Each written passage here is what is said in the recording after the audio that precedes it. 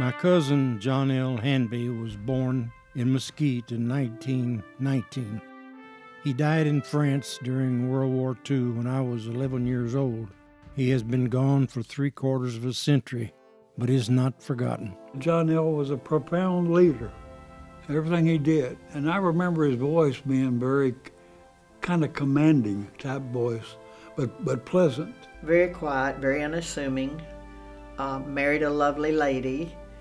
There was such a difference in our ages I don't remember that much about his personality, but I know he was he was very quiet and uh, just a great a great human being. John L. Hanby was named after his grandfather, who brought the Hanby name to Mesquite. We came here from Virginia, Tennessee, Bristol, and we came in 1879. My great grandfather did. The elder John L. was one of the first school board members in Mesquite, and Hanby Elementary is named after him. His son E.H. Hanby has the football stadium named after him, and the old armory was named after the soldier John L. Hanby. Yes, the Hanbys used to have big family gatherings. I remember going to those. There was a lot of good cooks in that family.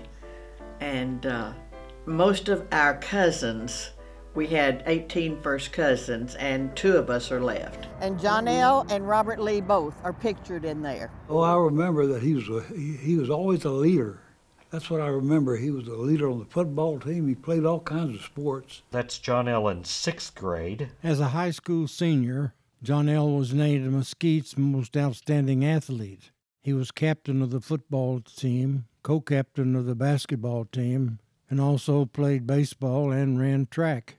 He went to Texas A&M, and by his senior year, he was captain of his company. Yeah, it was Robert Lee's freshman year. Robert Lee's freshman year, year, and John L. senior year.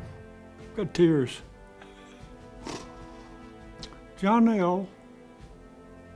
and the other cousin Robert Lee, they both influenced me to go to A&M.